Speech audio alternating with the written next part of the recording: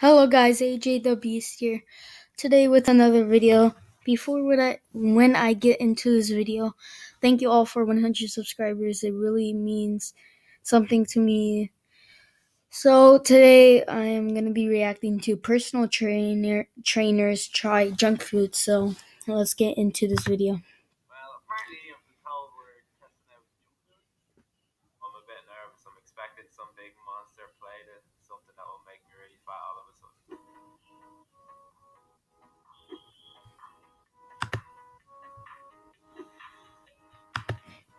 One question is why are like these people British? Is this like a British channel? Cause I was expecting Americans. Okay. You know when you die and you go? You're probably agree to one of these.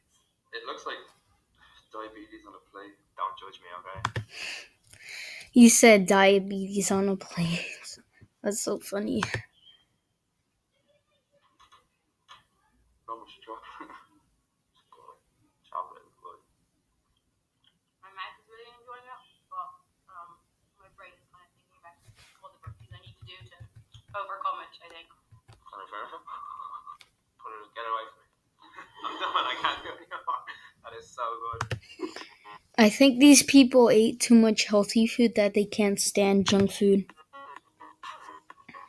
Doritos are my weak point, I have to say. This I can do. Even looks good, like, you know. hmm I could eat the whole packet and probably most of that jar.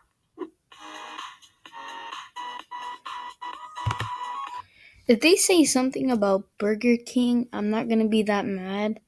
But since sometimes I eat there, I'm kind of gonna get mad, but who cares? Oh my god. Why are you doing to me? Hope my clients are watching. What is this called? Whopper. It's a Whopper. Look good. Tastes good, but again, it's like, is it worth it? Depends what kind of training you're doing, but worth it to me. How many burpees am I gonna do later? I'm talking like probably 1,500 calories just just in this. Like all my cheat meals for the whole month. If this was me as a personal trainer, I would be like, yes, because finally taking a break from the healthy food, and that that's great for me. If you're trying to be healthy, forget about it.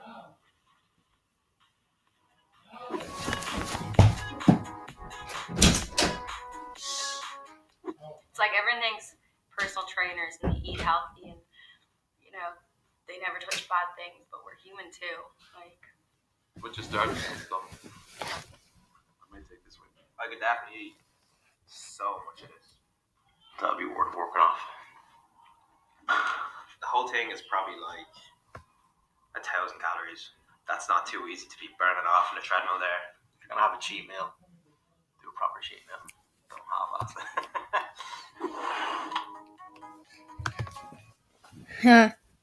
and now this video wants me to drink Coca Cola. That's a killer. That's just me. Wouldn't go near Coke.